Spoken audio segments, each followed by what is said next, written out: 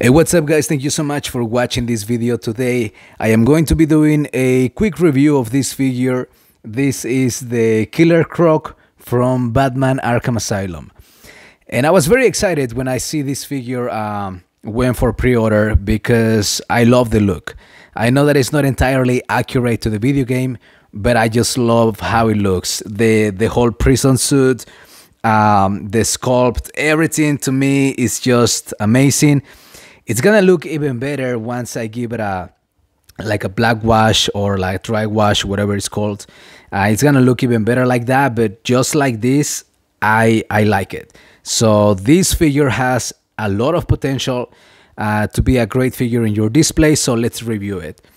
One of the things that I like is if you can see right here, you see that they added some black uh, wash, which is great. It gives it a lot of uh, detailed. And this is something what I want to do on the rest of the pants it's not gonna be this dark obviously but uh yeah I just don't want it to look just orange. And another thing that I like is the skin. Everything on the skin is just great. It has some wash right here and it's all right you know but um everything else just looks uh, empty. So I want to give it a, a dry uh, wash over there to make this figure look even better.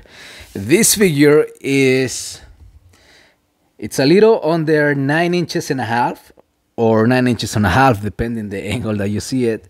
It's uh, I would say it's a little under. And it's not entirely accurate to the size in the video game, but it's still a big figure. And to compare it, I have my custom uh, Batman Arkham Knight and this is my favorite uh, figure. It has like a great armor.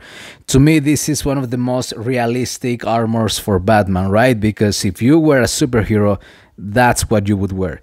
You would wear this armor right here. Everything to me, this just looks great. And as you can see, I made a custom out of this figure. I repainted it to give it a better look. And that's what I'm planning to do with this one. So later in the future i am going to do this one uh, to to make it look better.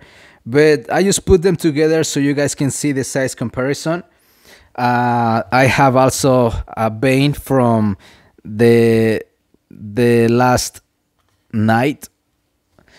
And this is the builder figure. Obviously i also customized it. Uh, this figure is supposed to be gray all over the skin and the mask is different this green part right here is it was actually from Scarecrow. I cut it, I painted it green, and then I glue it to the head, and then I glue it to this part. I'm gonna make a video with all the custom figures that I have done. I have done. But anyways, the only reason why I wanted to show it is because I wanted to put uh, so you guys can see the size difference. Obviously, the the largest um, figure that we have from McFarlane, I believe, is this one, the Swamp swamp uh, thing right here, uh, it's gonna it's gonna struggle to stand up. But yeah, so basically this is the size difference between Samp something and um, the Killer Croc.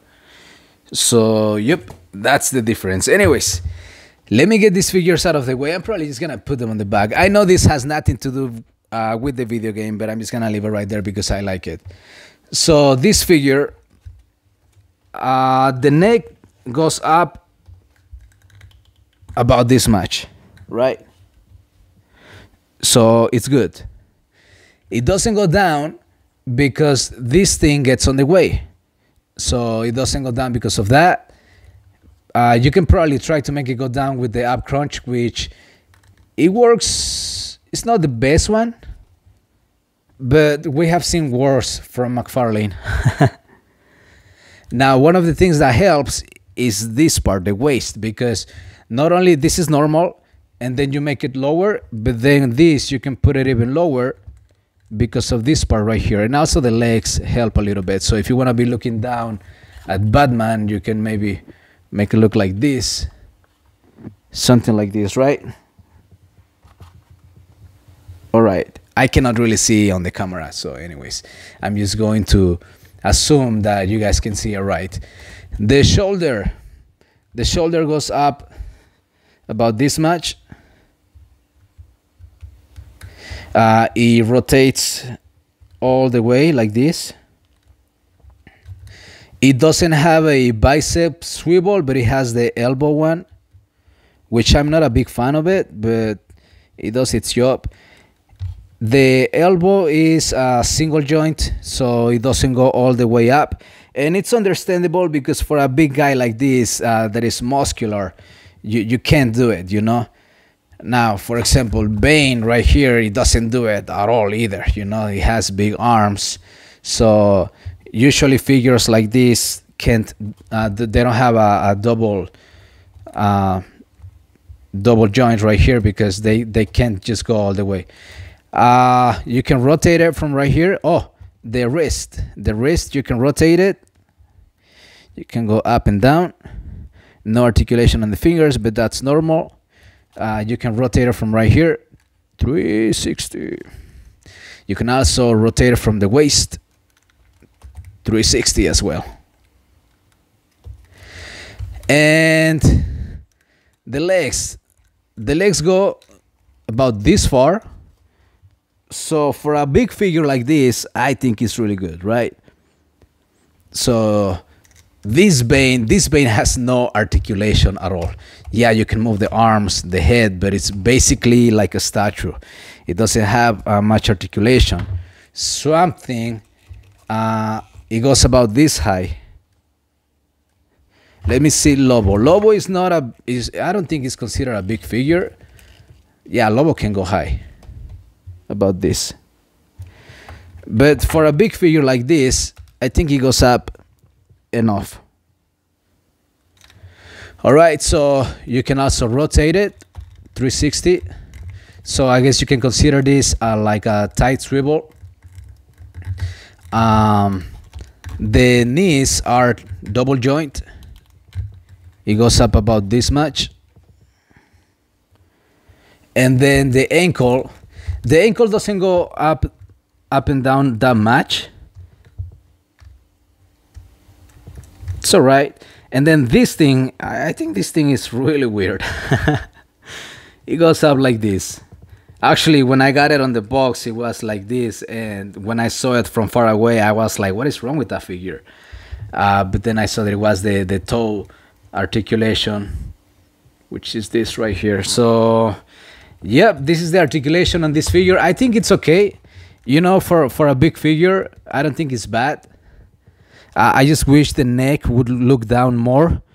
And also, when you rotate the neck, it basically goes up. And that's one of the things that I, I don't really like about this figure. But it's it's common with the big figures. With the Bane, it does the same thing.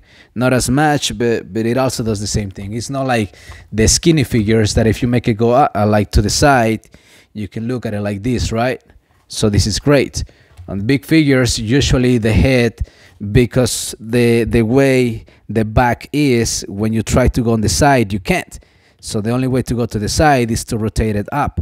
So that's not the best look, but I don't think uh, I don't think we're gonna get anything better from McFarlane on articulation on the neck for for this type of figures.